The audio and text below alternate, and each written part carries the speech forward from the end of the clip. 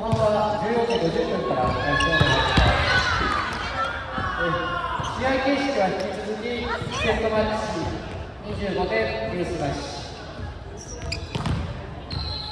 え、後半、女子後半14時50分からお願いします。試合形式は、えー、前半に引き続き25点、1セットマッチ、ニュースなしでお願いいたします。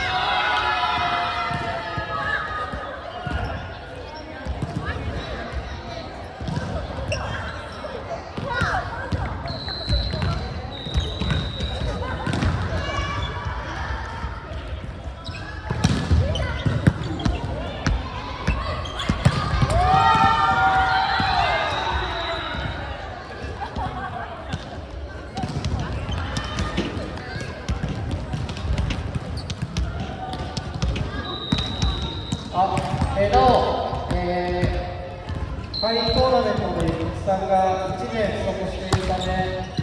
えー、試合が行いましたが、えー、負け扱いとなりますので、